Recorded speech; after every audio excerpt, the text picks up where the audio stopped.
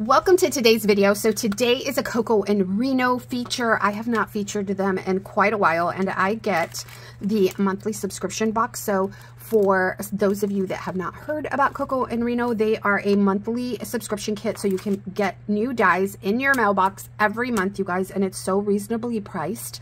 It's ridiculous. Um, and when you are just starting to uh, create your die stash in your craft room, this is a really great way to build it slowly. Um, every month they have a new die set. You get it in your mailbox. They also sell these as one-time purchases.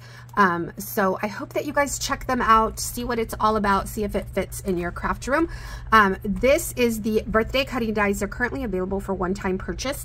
And so I created this little memory dex using the balloons and the little uh, birthday hat and the word celebrate from the die set. So you get all of these dies. It says happy birthday. Um, you got some candles, a little, kind of looks like a confetti. I'm thinking it might be like a balloon streamer. Um, and then you get these little um, kind of like bubbles that can be coming off of the flame um, or just used as confetti. You've got little presents. You've got this word that says celebrate this adorable cake. I think it's so cute. Um, a lot of the design team members already used this die set and everybody pretty much used the cake. So I was like, okay, we're going to do something different. And so that is what we are working on today. So I created this for a reel. Um, as a design team member, I am to create two projects with each die set. So this one is my first one. And then this one, it's a, just a little birthday tag. This will be my second one. And I thought I would share with you guys my process. So I wanted to share with you this die in particular from the die set, the balloon. So it's one um, die, but if you just cut it out of your design paper or the color cardstock and then cut a separate piece of paper for these the string, the balloon string, um, and then you'll have something cute like this. It's really easy to just do some minor paper piecing to just give your balloon a little extra something. So I wanted to share that with you. And then this I fussy cut off of one of the tags in the collection that I'm using. And it already has a little hat on it, but I wanted to use this little hat and just give her some dimension. So I just put a little foam square on the back of her and we'll place her on here and it's just gonna bring this little ephemera piece some added interest and dimension just give it a pop of something, okay? And I used a tag die for my stash. I'm just gonna glue this on here. I always like to use this thin chipboard, you guys, with my thin die cuts. Um, I almost can't have a project where I don't use it because it just makes everything feel so good. and it's super, super thin, so it works perfectly with these wafer thin dies. And so I'm just, I just always use it. So I just make sure, I mean, it's an added step because you can leave it like this, but I like to cover it up. So I did cut another piece. I just forgot to bring it with me over here. Um, so I'm just gonna add some pressure. We'll leave this back piece undone. Actually, I can't leave it undone because once I start to add everything, it'll be hard to add the back piece. Let me grab that really quickly. Okay, so I found the back. It's just a plain cardstock, okay? We just want to cover up that chipboard and we're going to start building our little guys. So here I have this die right here. This is the double balloon and I did some paper piecing just like I um, mentioned to you at the top of the video. I've got some gold foil cardstock and then my printed cardstock and then I added some little stickers from the um, paper collection that I'm using. I'm just going to add these here. You know what else I need? Foam squares. Foam squares. Let me grab those. Okay, so I got my foam squares. I'm gonna add my balloons. I already know uh, pretty much how I want to place everything. So I just added some foam squares to the back of my balloon die cut. Pretty much want to place it right here, just like that. Then I have some foam squares on my girl and we'll place her as well. And it's just fun how these little dies can really just bring your project to life. You know, they just give it a lot of character. Um, I have some leaves that I want to place. Oh, I have the little cupcake. Look at the little cupcake. So I did paper piecing here as well. I used the bottom, a different color for the frosting, a different color for the candles. and just added a little foamy for that. I want it to be kind of in the back of everything, just like that. Then I want to add my flowers here, the larger one in the center. And I want to add my, yeah, just like that, okay.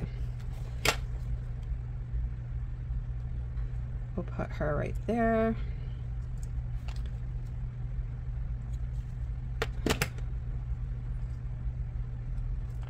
it's kind of good to just like come in with an idea of where you want everything because then it's just a matter of gluing everything together. And then I'm just folding my leaves a little so they won't be so two-dimensional. We'll give them a little fold, okay? And then I'm going to add my flower.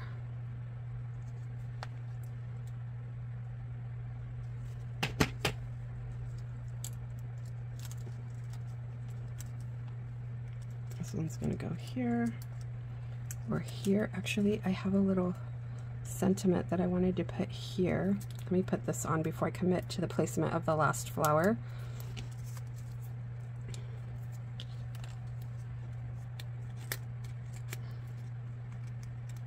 Yeah, I want to put this right here.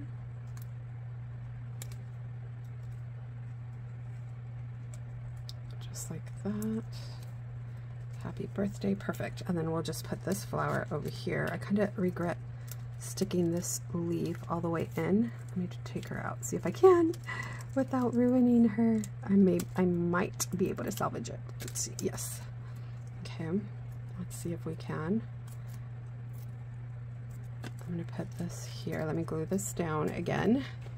I just tore that all off. Do you guys do that too? I hate that I'm like that like just glue it down and commit. just glue it down and commit.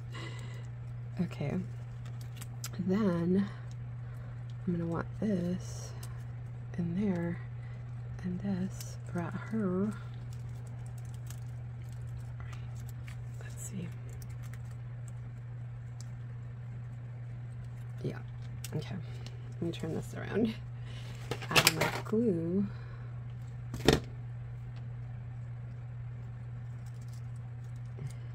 You go.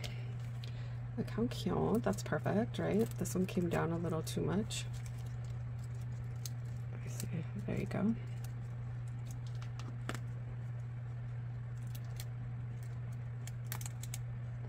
Okay.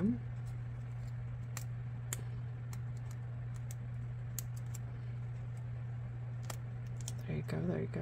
Kind of spread it out evenly. there you go.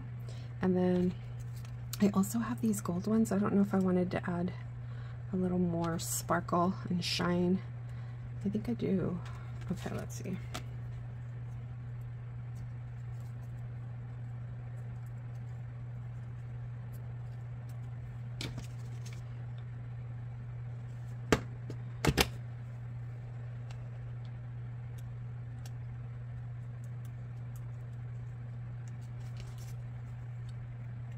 go.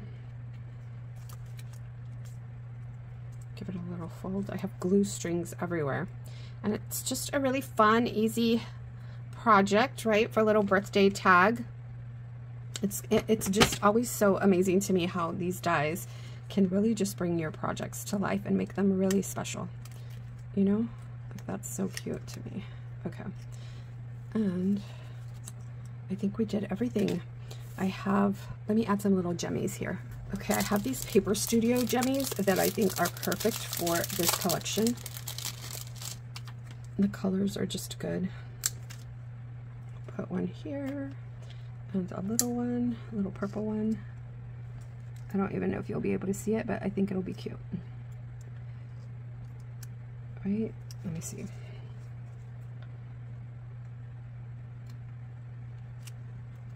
Oh my goodness, it's stuck to my cupcake and I want to put it under the cupcake. I think it's to have to stay there. That's fine. I'll just move this one out a little bit more. Oh my gosh, now this one wants to go in. That is too funny. Okay, I want them like that. And this leaf, for some reason, doesn't want to cooperate. I want it like right there. Let me add a little bit of glue. It's like, has a mind of its own. okay. There you go.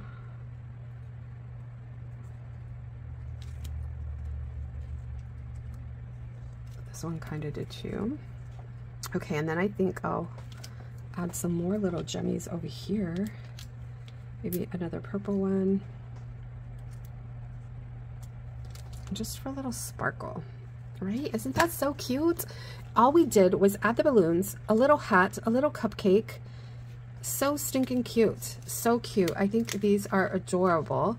Um, and you have a great little birthday set to gift to someone or to document a special uh, birthday moment. So I hope that this inspired you to get crafty today. Make sure you check out Coco and Reno. They are really just an amazing company and the owners are just so kind and sweet and they always have just fun craft supplies for the craft room. So craft dies for the craft room. So yeah, I hope you check them out. Thank you so much for watching. Let me know what you think in the comments below and I will talk to you soon. Bye for now.